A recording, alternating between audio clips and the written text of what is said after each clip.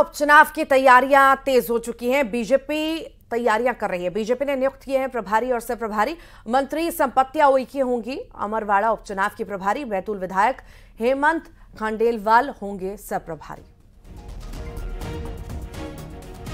अमरवाड़ा में उपचुनाव होना है और अब उपचुनाव को लेकर के तैयारियों में दोनों ही पार्टियाँ जुट चुकी हैं। बीजेपी भी अब जो है, उपचुनाव की पूरी तैयारियों में जुट चुकी है। प्रभारी नियुक्त किए गए हैं। संपत्तियाँ उइके, उपचुनाव की प्रभारी होंगी और ये सभी ध्यान देंगी। और सह प्रभारी हेमंत खंडेलवाल रहेंगे। उपचुनाव होने हैं, उसको लेकर के अब तैयारियों में जुट चुकी है बीजेपी और कांग्रेस भी। बीजेपी ने अपना उम्मीदवार भी उतार दिया है, साथ ही साथ अब जो है प्रभारी और सह प्रभारी भी बनाए गए।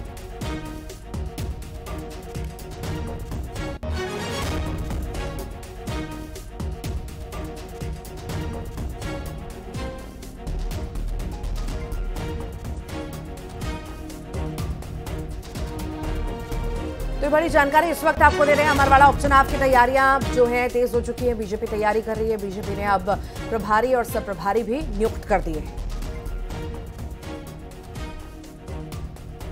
ज़्यादा जानकारी के लिए सहयोगी शैलेंद्र भदौरिया हमारे साथ जुड़ गए हैं। शैलेंद्र, उपचुनाव की तैयारियाँ तेज अमरवाड़ा में, वहीं प्रभारी से प्रभारी की नियुक्ति भी बीजेपी के द्वारा कर दी गई है।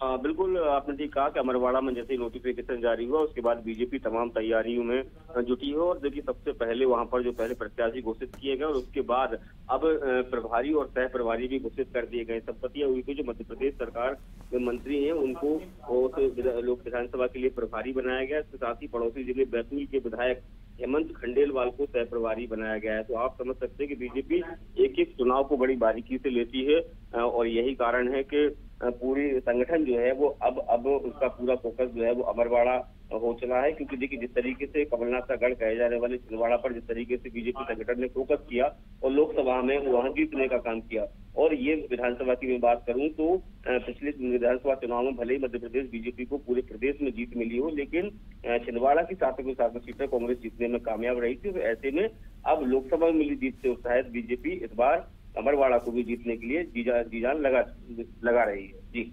ठीक, बहुत बहुत शुक्रिया, शैलेंद्र।